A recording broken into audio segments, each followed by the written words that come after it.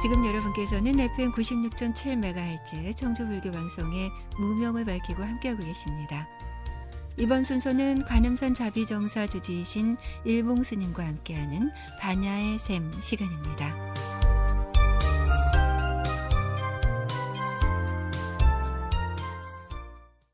안녕하세요. 관음산 자비정사 서길봉입니다. 어느새 뭐 앙상한 가지만이 찬설이 바람이 되어서요. 몸을 움츠리게 하는 그런 겨울을 느끼게 됩니다. 이제 뭐 잠시 몇 날 허겁지겁 오가다 보면은요. 어, 덩그러니 한 장의 달력만 금년을 지키고 있는 것은 아닌가 하는 생각이고요.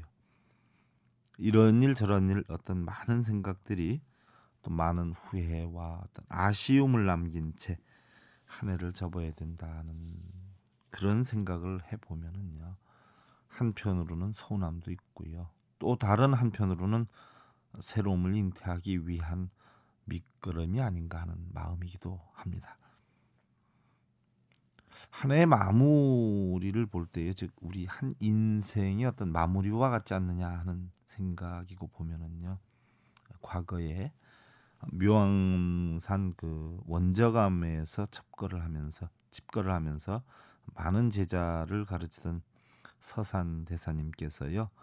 85세 나이로 많은 제자들이 지켜보는 가운데 가부자를 한 상태에서 바로 입적하시기 직전 읊으셨다는 그런 시구절이 생각이 나기도 합니다. 살아있는 게 무언가 수만 번 들여 마시고 마신 숨 다시 뱉어내고 가졌다 버렸다 버렸다 가졌다. 그게 바로 살아있다는 증표가 아니던가. 그러다 어느 한순간 들여 마신 숨 내뱉지 못하면 그것이 바로 죽는 것이지. 어느 누가 그 값을 내라고도 하지 않는 공기 한 모금도 가졌던 것을 버릴 줄 모르면 그게 곧 저승 가는 것인 줄 뻔히 알면서 어찌 그렇게 이것도 내 것, 저것도 내 것, 모두 다 내 것인 양 움켜 쥐려고만 하는가? 아무리 많이 가졌어도 저승길 가는 데는 티끌 하나도 못 가지고 가는 법이니 쓸 만큼 쓰고 남은 것은 버릴 줄도 아시게나.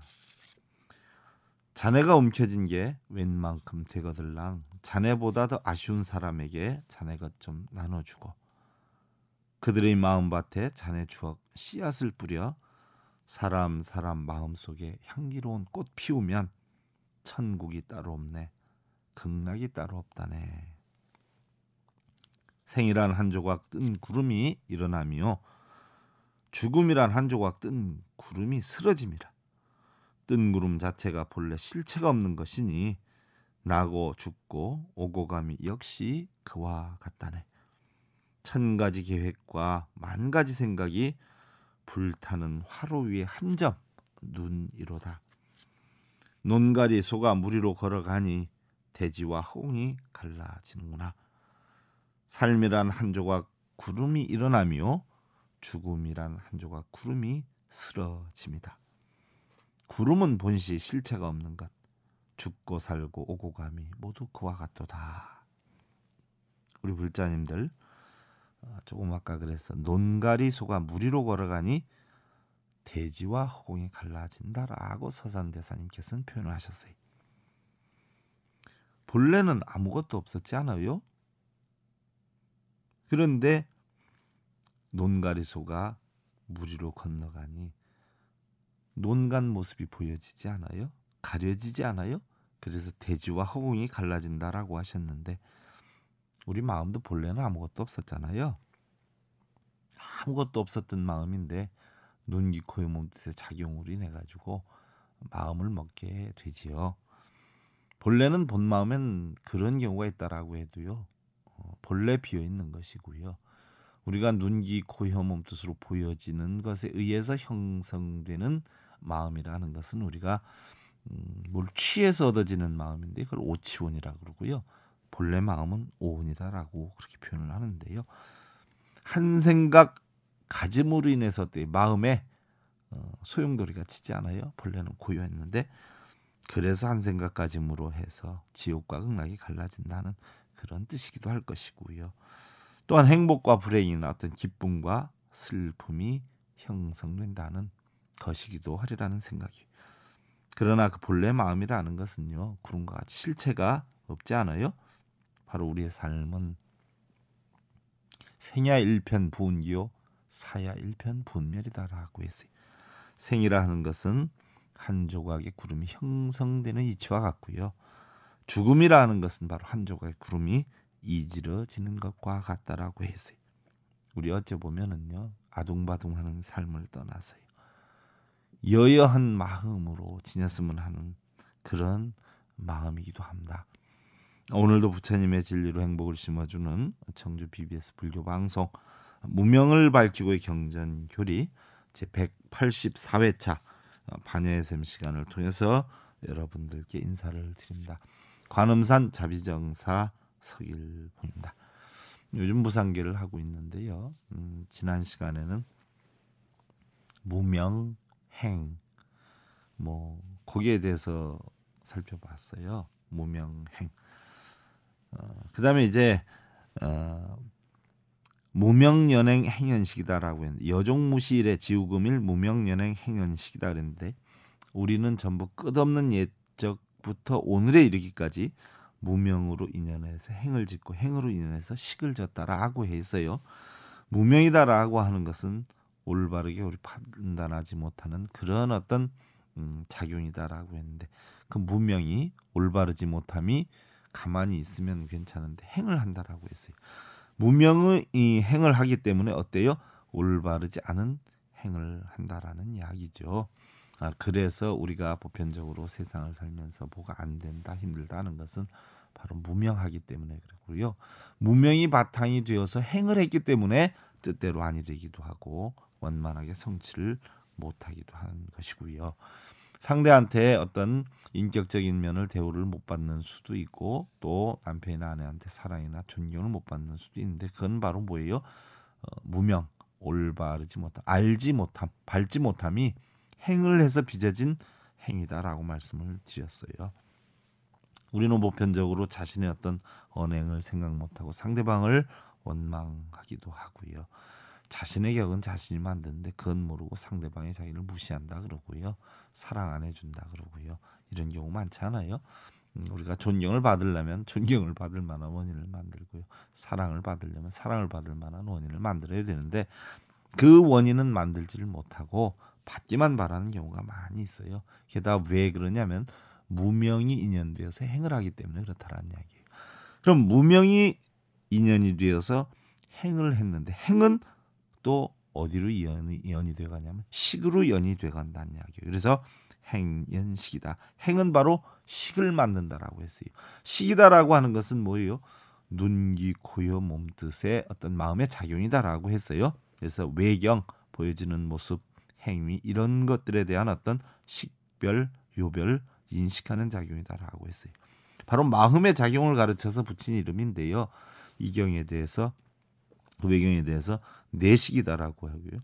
또 앞의 어떤 행업으로 인해서 형성되는 그런 여건 바로 식이다라고 해요. 바로 어, 대승소승에서 전부 이 한결같이 우리가 육식을 주장하는데요. 육식이다라고 하는 것은 여러분들 우리 어떤 몸에 가지고 다니는 눈기 코요 몸 뜻이 있어요. 안이비설신 이게 뿌리 근자를 써서 육근이라 그러죠. 이 육근이 보여지는 모습이 없으면 아무것도 못 느끼는데 색 어떤 물질, 형상 또는 성, 소리, 또 향, 냄새, 또 미, 맛이어요. 감촉, 법, 이치 이런 어떤 대상, 경계 이런 거를 통해 가지고선 형성되는 어떤 견 보는 작용, 문 듣는 작용. 보는 건 눈이 하지 않아요. 문 듣는 건 귀가 하지 않아요. 후 냄새 코가 하는 거예요. 미 맛 이건 입이 하지 혀가 하지요. 촉 감촉 손이나 몸이 하지요. 지 아르마리로 한단 말이에요. 이런 어떤 요별 작용을 하는 쉽게 얘기하면 눈기 고여 몸 뜻이 어때요? 어떤 대상을 보고 좋다, 나쁘다, 이쁘다, 밉다. 아, 저 사람은 고집이 세다, 약하다. 아, 저 사람 나쁜 말 한다. 좋은 말 한다. 이런 모든 작용들. 맛이 있다, 없다. 이런 작용을 바로 마음의 형성을 시키기 때문에 눈을 보는 작용도 마음의 형성이 되고요. 또 귀로 듣는 작용도 코로 맞는 작용도 맛보는 작용도 감촉도 뭐 이치도 다 마음의 작용으로 형성이 되죠. 이걸 갖다 우리는 육식이라 그러는데요. 별도로 구분을 하면 안식, 그죠? 이식, 비식, 설식, 신식, 의식. 바로 여섯 가지의 심식, 마음에 형성되는 마음에서 바로 형상이 만들어지는 어, 식을 우리는 육식이다 이렇게 하죠. 무명이 바로 어때요? 음, 행을 이루고 그 행이 어떻게 해요? 이 마음의 작용을 만들어 준다라는 이야기예요. 그래서 예를 들어서 어때요, 여러분들? 나쁜 사람아 하고 이야기를 하고 어째 세상을 그렇게 사나? 왜 이렇게 미련하나? 이러면 어때요? 속에서 뿔뜯거지가 이렇게 살아나요? 그러는데 야, 내 인생을 살면서 너처럼 훌륭한 사람 못 봤어. 라고 하면 어때요? 마음이 아주 좋아진단 말이죠. 그러면은 마음이 형성되는 식이 어때요? 나쁘다라고 하면은 분함이 형성이 되고요. 아주 좋다, 이쁘다라고 하면 좋음이 형성이 돼요. 이런 작용을 우리는 식의 작용이다 이렇게 표현을 해요. 그래서 바로 무명이 어, 잘 모르는 이치가 행을 하게 되면 바로 어떤 식이 작용이 되느냐에 따라서 식이 형성이 돼요. 그래서 예를 들어서 여러분들 가정 생활을 해도 어때요? 알지 못하기 때문에 그 알지 못함에 행을 해서 어, 식을 심어주는데 상대에게 어때요? 나가 아, 애초에 당신을 선택한 것이 너무 잘한 것 같아요. 내가 당신 만난 데 대해서 지금까지 얼마나 고마운지 몰라요. 너무너무 고맙고요. 너무너무 사랑스러워요. 하면은 그 받아들이는 사람이 어때요? 너무나 뿌듯하고 행복해하고 반대로 미안한 감을 갖는단 말이죠. 잘해야 되겠구나. 이렇게까지 나를 생각하는 데가 너무 못했구나. 이런 생각을 할 수가 있어요. 그런데 아이고 내가 어쩌다가 옛날 처녀 때는 안 그랬는데 내 당신을 만나가지고 다 배렸다고. 내가 눈이 뼈지 어쩌다 당신 같은 사람을 만났냐라고 하면은 상대가 어떻게 생각이 들겠어요?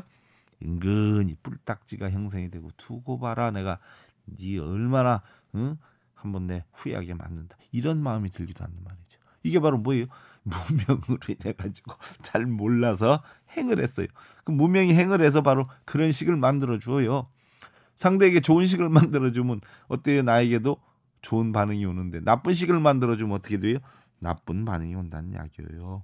바로 어떤 씨앗을 만드느냐? 바로 우리는 모태로 들어가는 탁태의 처음 생각을 가르친다라고 하는데 바로 쉽게 얘기하면 선입관이라고 하는 거예요. 선입관. 선입관. 처음으로 볼 때 어떤 마음을 만들어 놓느냐 하는 거예요. 이것이 바로 시계작용이에요. 그래서 여러분들 예를 한번 들어보세요. 우리가 팔 정도에서 정견 사람을 바로 세, 세상의 모든 것을 바로 봐라 이렇게 인식을 시키는데요. 바르게 보지 않으면 생각 자체가 바르게 들 수가 없어요. 예를 들어서 여러분들 음, 어떤 사람을 소개를 받는데요. 아, 그 사람이 고집이 좀 있고 굉장히 오기가 많아 승깔이 있는 사람이거든. 그러니까 잘 감지해서 그 참고로 해라라고 주입을 시켜 놓는단 말이죠. 그럼 그 사람하고는 한 번도 접하지를 않았는데 어떻게 돼요? 마음속에는 선입관이라는 걸 갖게 돼요. 이 시기 형성이 된단 말이에요. 아, 그 집, 그 사람은 고집이 세고 오기가 많은 사람, 승깔이 있는 사람. 이렇게 해서 어떻게 돼요? 안경이 씌워져요. 색깔이 시계작용에 덮여져요. 그래서 그런 관점으로 그 사람을 봅니다. 여러분들 간혹 그런 경우 있죠. 연예인들이 굉장히 고통스러워하는 것이 어떤 낭설, 어, 비어, 뭐 유언 비어다 이렇게 표현을 하는데요. 뭐 있지도 않은 일을 있는 것처럼 해가지고 이야기를 하는 경우가 있어요. 자기 생각을 뭐 예를 들어서 어떤 매스컴이나 이런 보도가 되면 그게 바탕이 돼가지고 아, 이 그 사람 이러기도 했대, 저러기도 했대, 아주 못됐대, 뭐 하, 하면은 그게 어떻게 퍼져나가요? 나라에서도 사실은 유언비하는 사람들 많이 있어가지고 문제를 만들지 않아요. 이상한 얘기하고 정부에 대해서도 이상한 얘기하고 저희들 승려 세계에서도 또 그런 경우 많아요. 자기는 뭐 접해 보지도 않았는데 어, 어떤 친구가 갔는데 그 스님이 야단을 쳤다라고 하면은 접해 보지 않은 사람인데 야단 맞은 사람 야 그 스님 땡중이야 땡중 욕도 잘하고 성질도 잘도 무슨 중이 그런지 모르겠어 하고 하면은 다른 사람 접해보지 않은 사람이 어때요? 접해본 사람이 그 사람 땡중이야. 승질도 잘 내고 못됐어라고 하면은 그냥 알지도 못하면서 아 그 사람 땡중이래. 승질도 잘 낸데 이렇게 해서 다 선입관이 형성이 되는 거. 이게 왜 그래요? 제대로 알지 못하는 무명이 행을 하는 거예요. 행을. 알지도 못하고 떠들어 다니는 거예요. 남의 얘기만 듣고 그처럼 바보가 없는 거죠 그 무명이 행을 하다 보니까 그게 어떻게 돼요 식작용에서 마음에 식이 형성이 돼서 선입관 때문에 안 치는 거예요 그래서 어떻게 됐든 좋든 나쁘든 남의 얘기를 통하거나 자기는 겪지도 않았는데도 마음을 인식을 시키는 거. 이게 바로 시계작용이에요. 시계작용.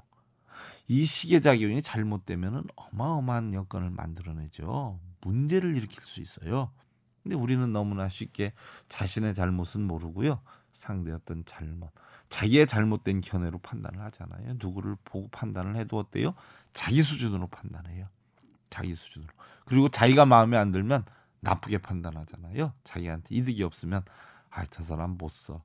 얼마나 잘인곱인데 아 저 사람 못 써. 자기한테 잘못하면 자기의 행위가 잘못되어서 상대가 그렇게 행위를 하는 건 생각 못 하고 자기한테 받는 것만 자기가 원하는 대로 이루어지지 않는다 해서 그 사람을 욕을 하고 헐뜯는 경우 많아요. 이게 바로 뭐 무명으로 인해서 행이 돼가지고 형성되는 시계작용이. 그것 때문에 참 우리는 어떤 업력이 생기고요. 걱정은 못내가 생기고 이러는 것이에요. 이런 시계작용이 되니까 바로 뭐냐 식, 연명색, 명색, 역, 육이 이렇게 된 식, 연명색. 식으로 인해서는 다시 또 무명의 행을 짓고 행식을 만들었어요. 이 식이 또 뭐를 만드느냐? 명색을 만든다는 얘기예요. 명색을. 그래서 12연기법에서 제일 처음 해보면 무명이 행을 하고 행이 식을 만들었고 식이 바로 어, 식이 색을 만들어요. 명색. 명이다라고 하는 것은 여러분들 우리 오온이라 그러잖아요. 사람들을 오온, 오온이다라고 하는데 어, 오온은 색수상 행식 이렇게 표현을 하는데요. 그 색수상 행식 가운데 색이라는 것은 물질이나 어떤 형상, 눈에 보이는 것, 만져지는 것을 뜻해요. 그러니까 색이다라고 하는 것은 우리 사람으로 따지면 육신을 뜻하는 것이죠. 그 다음에 수상행식이다라고 하는 것은 바로 감수작용, 상상작용, 행동작용, 식, 시계작용. 이건 전부 마음에서 일어나는 거지 않아요? 그래서 정신작용, 마음의 작용이다 이렇게 표현을 해요.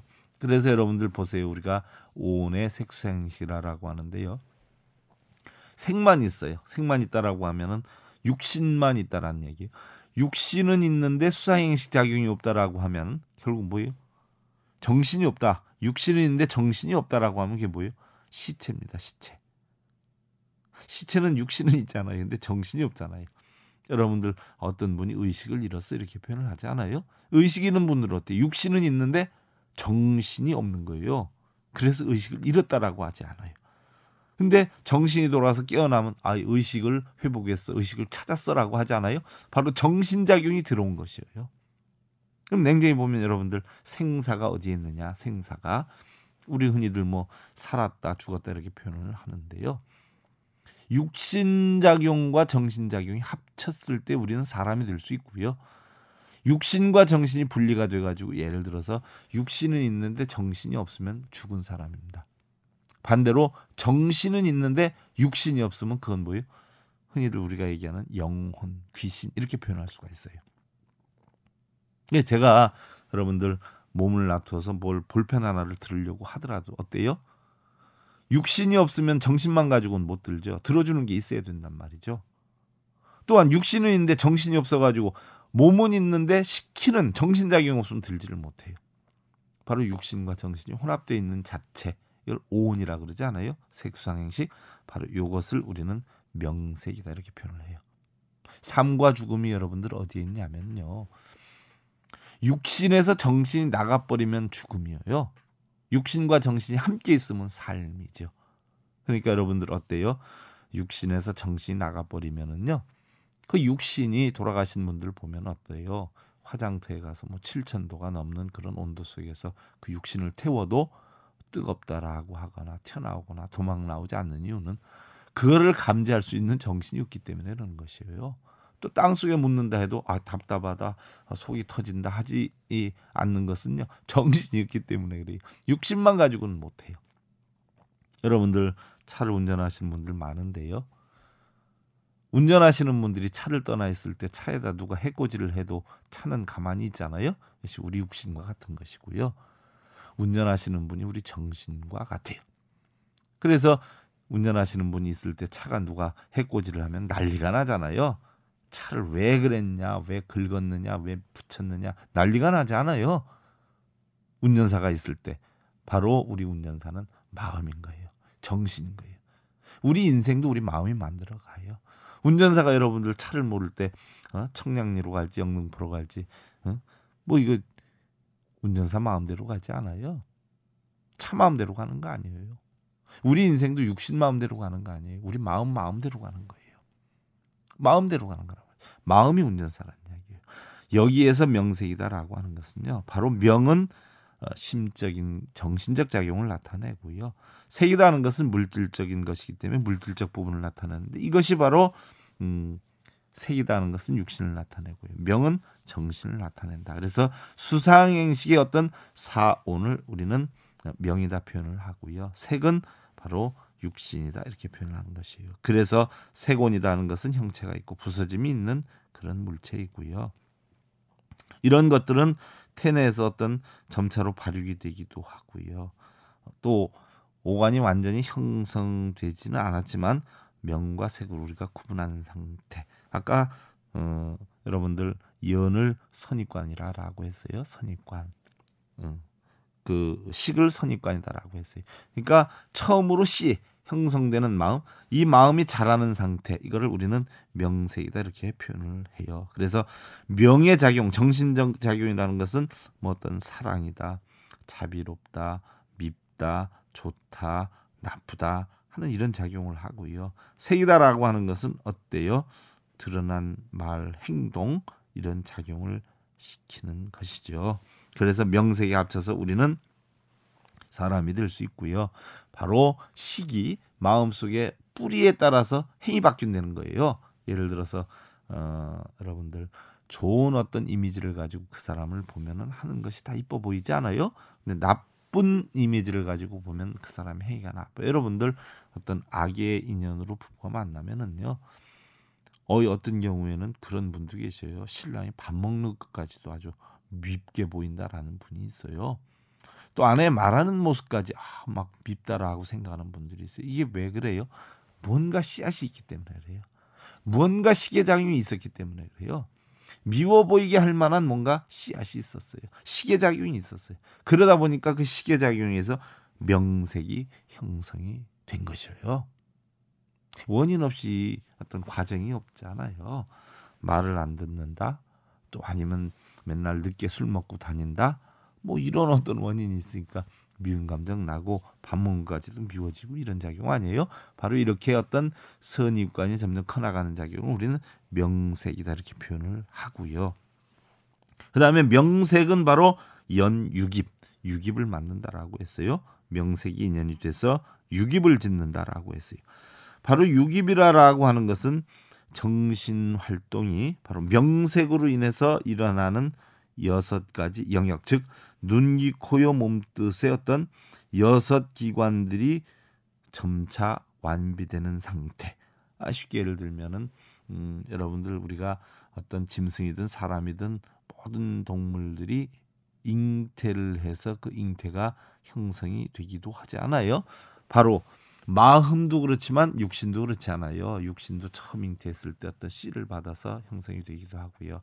그 육신과 함께 마음도 자란다라는 이야기죠. 그래서 바로 육입이라 하는 것은 바로 여섯 가지 기관, 눈, 귀, 코, 몸뜻의 작용이 점차로 채워지는 거, 성장하는 거 이런 걸 이야기를 하고 있어요. 그래서 여러분들 처음 우리가 선입관이 어떻냐에 따라서 명색에서 정신과 육신 작용이 행위가 바뀐다라고 했고요.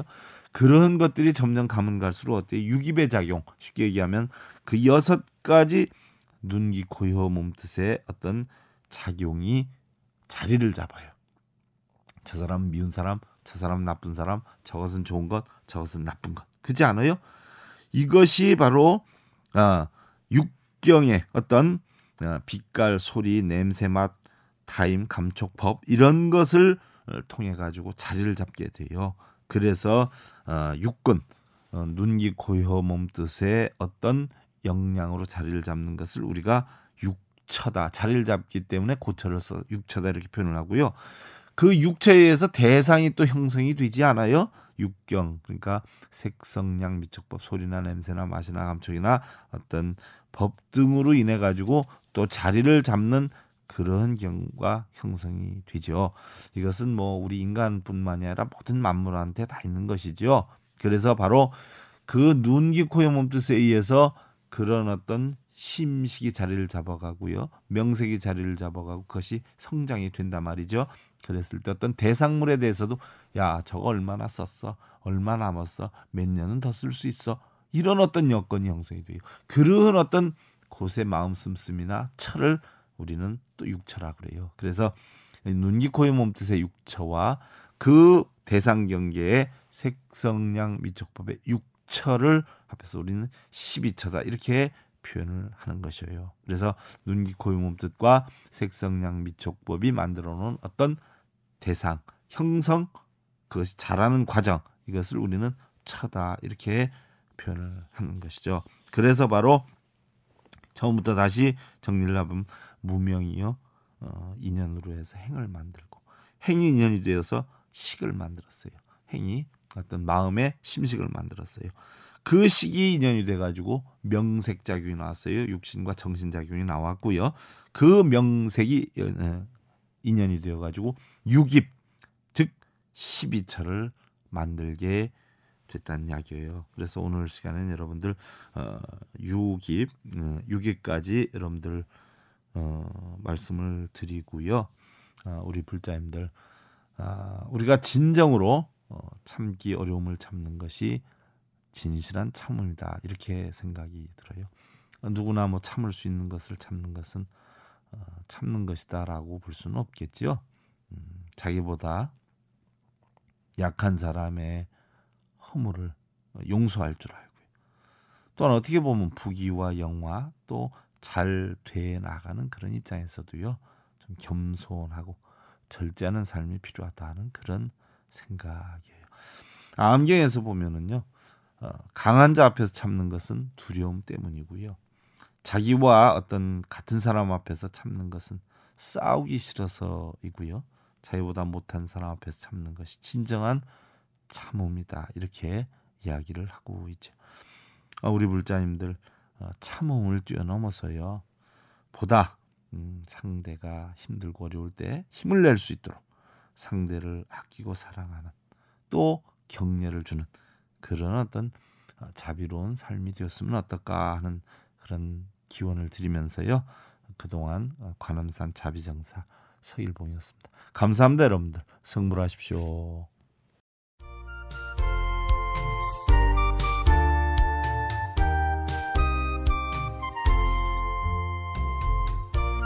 지금까지 관음산 자비정사 조지이신 일봉스님의 반야의 샘 함께 하셨습니다.